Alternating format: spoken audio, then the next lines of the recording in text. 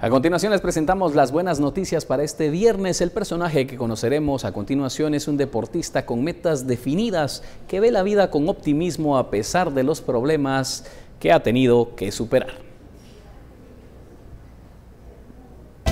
Las buenas noticias son presentadas para quienes quieren más de la cuenta.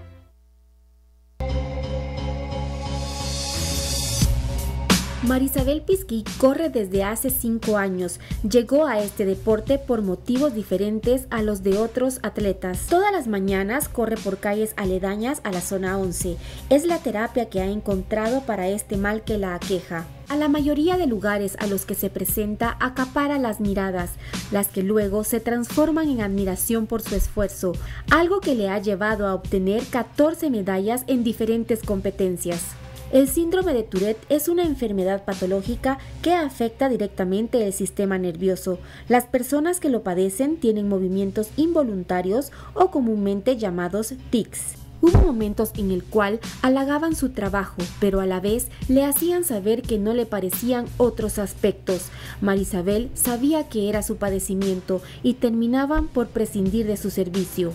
Preocupados sus papás la llevaron al neurólogo, le hicieron encefalogramas y la respuesta del doctor fue que su cerebro funcionaba perfectamente bien, no tenía ningún problema. No solo en Guatemala son escasos los medicamentos, sino que son demasiado fuertes.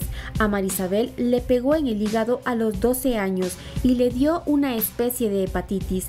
Fue cuando decidió no tomar más la medicina por los efectos secundarios. Tomará parte en la carrera de San Martín y después en Quetzaltenango para comenzar el calendario oficial en enero finalizándolo en agosto de 2018.